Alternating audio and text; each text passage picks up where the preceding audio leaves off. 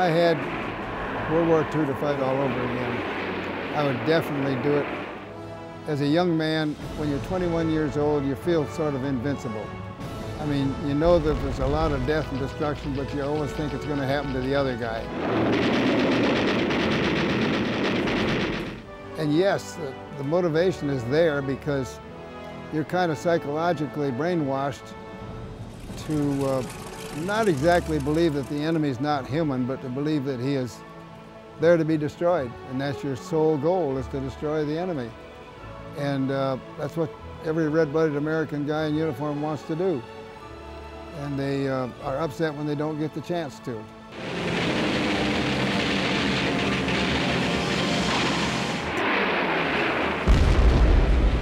I think you can assume that almost all pilots, in a way, they're fighter pilots, have one goal in mind, that's get into combat. That's where they want to be. And I was no exception. I wanted it, and I would do it over again in a minute. I'm O.B. Carter, and this is my story.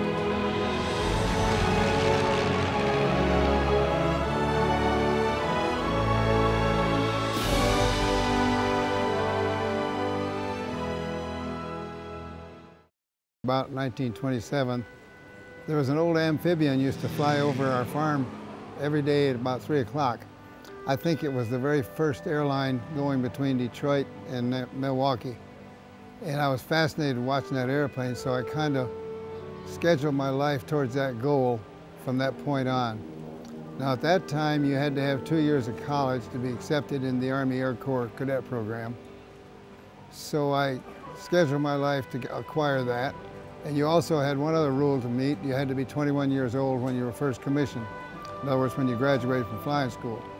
So I worked towards that goal, and it worked out pretty well. I went through the cadet program. Actually, it was, uh, I started in before the war started. I went in the Army Air Corps in September of 1941 and graduated from flying school in April 1942. Probably my most memorable mission was um, one in which actually I'd been in the dispensary and there was one other pilot there with me. And so I'd given my crew chief the day off and uh, we got a phone call from the British uh, RAF at uh, Imphal in India. And uh, they'd picked up all this large amount of targets on radar. They said there was about 20 Zeros escorting this one twin-engine Betty bomber, which is a photo reconnaissance airplane. So I got out of bed and threw on a flying suit over my hospital pajamas, but I had a little bit of a problem because my aircraft had not been serviced since the last mission. Uh, in other words, we had a bad oxygen leak, so it only had about a half a load of gas and, and less than that of ammo, and uh, almost no oxygen. So the British uh, radar vectored me on up, and I, they told me I was right on top of them, and I said, I don't see them. And they said, well, look underneath you. And I rolled up on a wing, and there they were, 20 of them. I counted them. I guess it's sort of like buck fever. I rolled over and went right down through the middle of them and never fired a shot. And so then get down a lower altitude, getting some smarts back from oxygen, and I crawled up ahead of them uh, with all that speed and rolled and made a head-on pass to the whole formation. Now this time I was shooting, but I'm sure I didn't hit anybody. And they raised their noses and shot at me. So again, I had a lot of speed. This time I got a little smarter and I crawled up to the right rear and picked out tail end Charlie and went in and shot him down. And then I dove away, and this time two of them followed me. But they didn't stay with me very long. And they, I kind of pulled up a little bit and counted them, and there was 18 left. The Japanese Zero is very, very maneuverable. And we were taught, actually it comes from General Chennault and the Flying Tiger philosophy, make one pass at the enemy, and if you miss, dive away from them and get out of Dodge and come back the next day when you have the advantage. And that was a successful tactic. If you try to get into a turning fight with a Japanese fighter, the odds are he's going to shoot you down.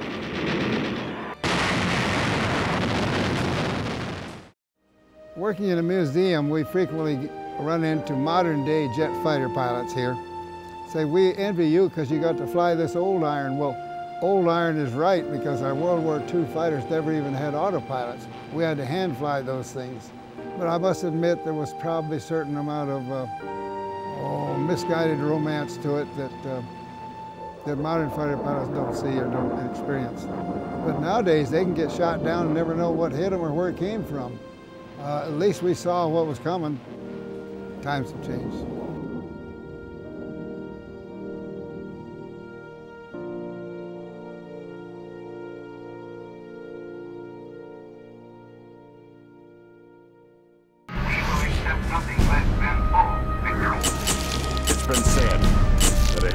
Is someone who gives his life for something bigger than himself.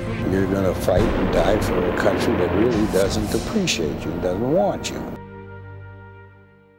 The uh, legend and the legacy of the Tuskegee Airmen is a monumental effort. It began in, with the War College uh, stating that we were, Negroes weren't capable of flying combat airplanes. It went through the civilian pilot training program where we had to, we had to protest and fight the, the government in order to be included, on to the uh, Tuskegee Airmen experience at Tuskegee Army Airfield. The first group, the 99th Fighter Squadron, went overseas in April of 1943. They went to North Africa where they were not accepted by the group that they were supposed to be assigned to. So they built a little airfield in the middle of the desert, put some steel mats down, put up some tents, and the, and the Tuskegee Airmen uh, uh, started flying. Hi, I'm Rusty Burns, and this is my story.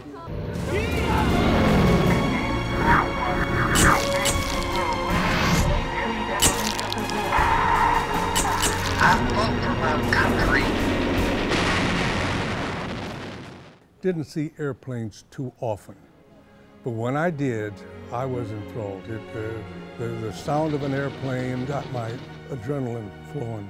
As a young kid, I made model airplanes. Didn't have any money, so I made model airplanes out of apple boxes, apple crates. A coping saw and some nails, and the next thing I know, I had what you could laughingly call an airplane. But my love of aviation began then, never dreaming that I would ever be in a position to fly airplanes because of circumstances at the time. At Tuskegee, Alabama, uh, I was probably introduced to uh, a few things that I hadn't seen before. We all know that in the South, black people ride on the coal car. That's the one right next to the engine in the baggage compartment. We got to Tuskegee and the train stopped. We're out in the middle of nowhere. There's a little platform and a, a bench and an outhouse and a little sign that said Chehaw. Chehaw was a station where we were allowed to disembark from the train. Train station was a little further up the road. We did not go to the town of Tuskegee. It was not a place where uh, a Negro, as we were then known, would want to travel to.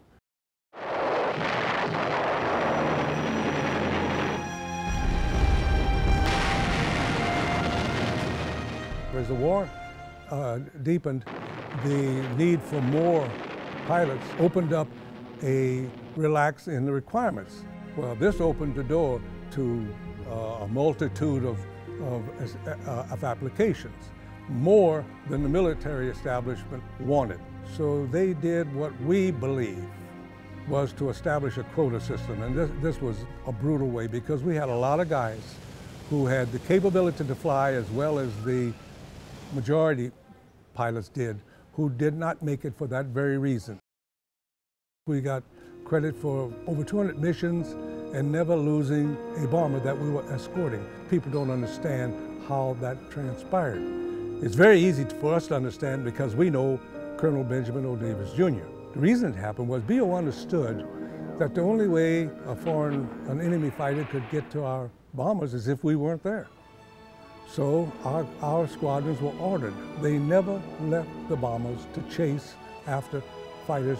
They stayed with the bombers and they never engaged an enemy fighter unless it jeopardized the bomber formation. After the war, we came back into the United States thinking we had redeemed ourselves by our efforts overseas. We found out that we still couldn't get a room in a hotel. We still couldn't eat in a restaurant. We still couldn't ride on the front of the bus. Even when we were riding in the coal car on the train, German prisoners of war were riding in the center of the train with, with, with the white people. So we've often been asked, why being treated the way that we were treated, did we perform as well as we, as well as we did? And the answer is very simple. This is our country. Uh, we didn't go to war uh, for any other reason except to defend our country. That's our responsibility.